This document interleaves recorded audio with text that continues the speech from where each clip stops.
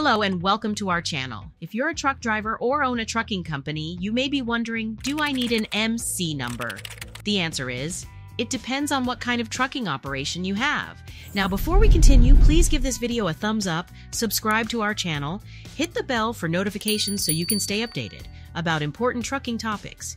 If you operate as a for hire carrier, meaning you transport goods or passengers for compensation, you will need an MC number. This number is issued by the Federal Motor Carrier Safety Administration and serves as a unique identifier for your business. The MC number is required for companies that transport regulated commodities, meaning goods that are subject to federal safety regulations. Having an MC number also means that your business is subject to safety regulations such as regular vehicle inspections and driver qualification requirements. However, if you operate as a private carrier, meaning you transport your own goods as part of your business, you do not need an MC number, but you will need a DOT number private carriers are exempt from this requirement because they are not carrying goods for hire. So, to summarize, if you're a for hire carrier, you need an MC number.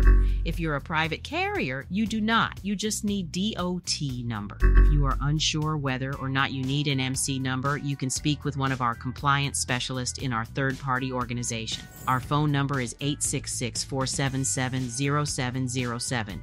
Please do not forget to like this video, subscribe to our channel, and hit the bell for notifications so you can stay updated about important information designed to benefit drivers and carriers.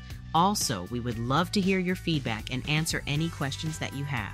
So go ahead and drop a comment below or visit our website at fmcsaregistration.com.